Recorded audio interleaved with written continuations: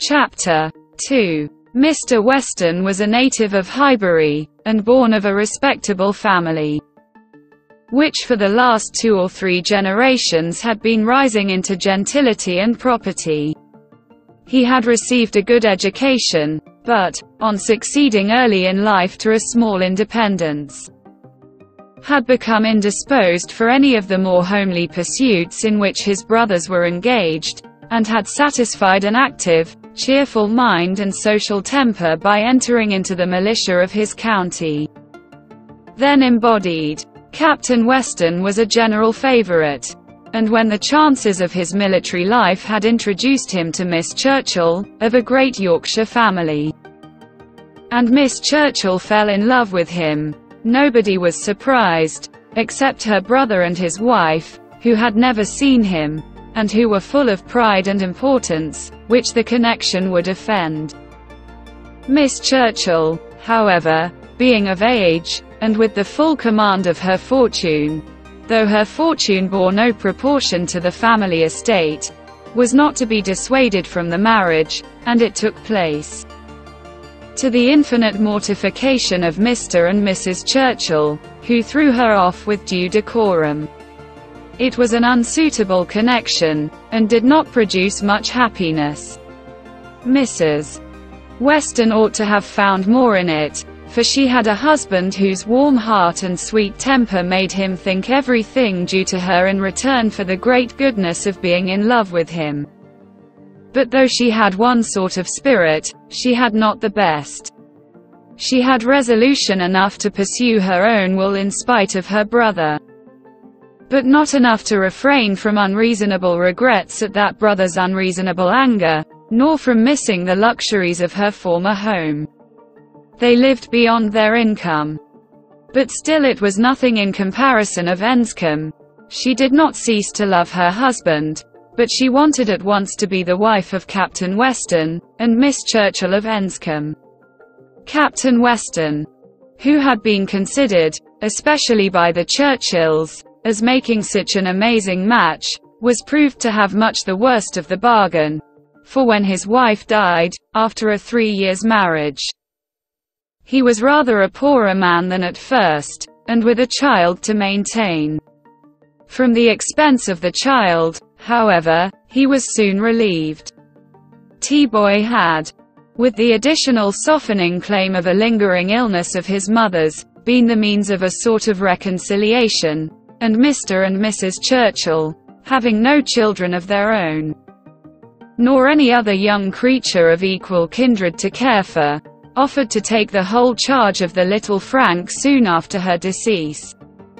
Some scruples and some reluctance the widower father may be supposed to have felt, but as they were overcome by other considerations, the child was given up to the care and the wealth of the Churchills, and he had only his own comfort to seek, and his own situation to improve as he could. A complete change of life became desirable. He quitted the militia and engaged in trade, having brothers already established in a good way in London, which afforded him a favourable opening. It was a concern which brought just employment enough. He had still a small house in Highbury, where most of his leisure days were spent, and between useful occupation and the pleasures of society. The next 18 or 20 years of his life passed cheerfully away. He had, by that time, realized an easy competence, enough to secure the purchase of a little estate adjoining Highbury, which he had always longed for, enough to marry a woman as portionless even as Miss Taylor, and to live according to the wishes of his own friendly and social disposition. It was now some time since Miss Taylor had begun to influence his schemes, but as it was not the tyrannical influence of youth on youth, it had not shaken his determination of never settling till he could purchase Randalls, and the sale of Randalls was long looked forward to. But he had gone steadily on, with these objects in view. Till they were accomplished. He had made his fortune, bought his house, and obtained his wife, and was beginning a new period of existence. With every probability of greater happiness than in any yet passed through. He had never been an unhappy man. His own temper had secured him from that, even in his first marriage. But his second must show him how delightful a well-judging and truly amiable woman could be, and must give him the pleasantest proof of its being a great deal better to choose than to be chosen. To excite gratitude than to feel it. He had only himself to please in his choice. His fortune was his own. For as to Frank, it was more than being tacitly brought up as his uncle's heir. It had become so avowed an adoption as to have him assume the name of Churchill on coming of age. It was most unlikely, therefore, that he should ever want his father's assistance. His father had no apprehension of it. The aunt was a capricious woman, and governed her husband entirely. But it was not in Mr. Weston's nature to imagine that any caprice could be strong enough to affect one so dear, and, as he believed, so deservedly dear. He saw his son every year in London, and was proud of him. And his fond report of him as a very fine young man had made Highbury feel a sort of pride in him too. He was looked on as sufficiently belonging to the place to make his merits and prospects a kind of common concern. Mr. Frank Churchill was one of the boasts of Highbury and a lively curiosity to see him prevailed, though the compliment was so little returned that he had never been there in his life. His coming to visit his father had been often talked of but never achieved. Now, upon his father's marriage, it was very generally proposed, as a most proper attention, that the visit should take place. Tara was not a dissentient voice on the subject, either when Mrs. Perry drank tea with Mrs. and Miss Bates, or when Mrs. and Miss Bates returned the visit. Now was the time for Mr. Frank Churchill to come among them. And the hope strengthened when it was understood that he had written to his new mother on the occasion.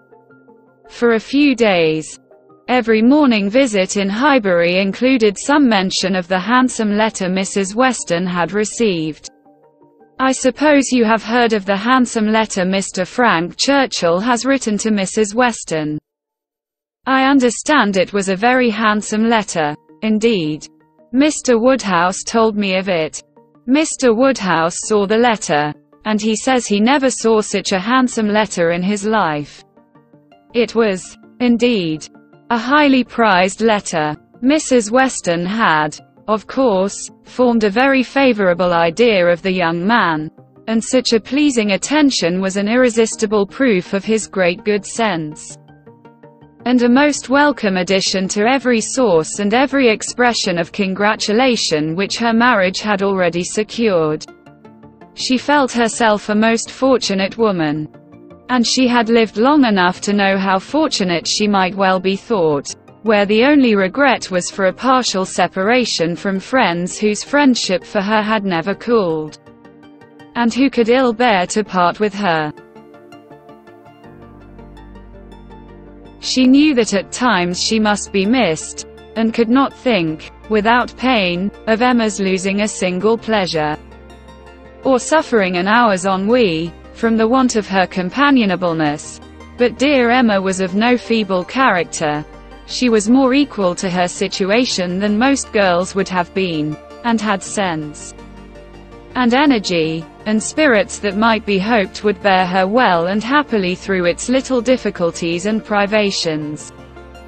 And then there was such comfort in the very easy distance of Randalls from Hartfield, so convenient for even solitary female walking, and in Mr. Weston's disposition and circumstances which would make the approaching season no hindrance to their spending half the evenings in the week together. Her situation was altogether the subject of hours of gratitude to Mrs. Weston. and of moments only of regret, and her satisfaction, her more than satisfaction, her cheerful enjoyment, was so just and so apparent, that Emma, well as she knew her father, was sometimes taken by surprise at his being still able to pity, poor Miss Taylor, when they left her at Randalls in the center of every domestic comfort or saw her go away in the evening attended by her pleasant husband to a carriage of her own. But never did she go without Mr. Woodhouse's giving a gentle sigh, and saying, Ah, poor Miss Taylor. She would be very glad to stay. There was no recovering Miss Taylor, nor much likelihood of ceasing to pity her. But a few weeks brought some alleviation to Mr. Woodhouse. The compliments of his neighbors were over. He was no longer teased by being wished joy of so sorrowful an event. And the wedding cake, which had been a great distress to him, was all eat up. His own stomach could bear nothing rich, and he could never believe other people to be different from himself. What was unwholesome to him he regarded as unfit for anybody, and he had, therefore, earnestly tried to dissuade him from having any wedding cake at all, and when that proved vain, as earnestly tried to prevent anybody's eating it. He had been at the pains of consulting Mr. Perry, the apothecary, on the subject. Mr. Perry was an intelligent, gentlemanlike man, whose frequent visits were one of the comforts of Mr. Woodhouse's life, and upon being applied to, he could not but acknowledge, though it seemed rather against the bias of inclination, that wedding cake might certainly disagree with many, perhaps with most people, unless taken moderately. With such an opinion, in confirmation of his own, Mr. Woodhouse hoped to influence every visitor of the newly married pair, but still the cake was eaten. And there was no rest for his benevolent nerves till it was all gone. There was a strange rumor in Highbury of all the little Perrys being seen with a slice of Mrs. Weston's wedding cake in their hands. But Mr. Woodhouse would never believe it.